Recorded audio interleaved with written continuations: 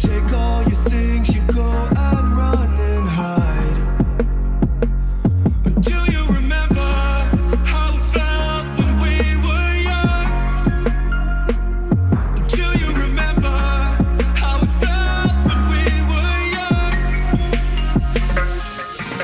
Today we have the chance to feel again, to hear the sounds that brought us to laugh, to cry, to again. Uh, yeah.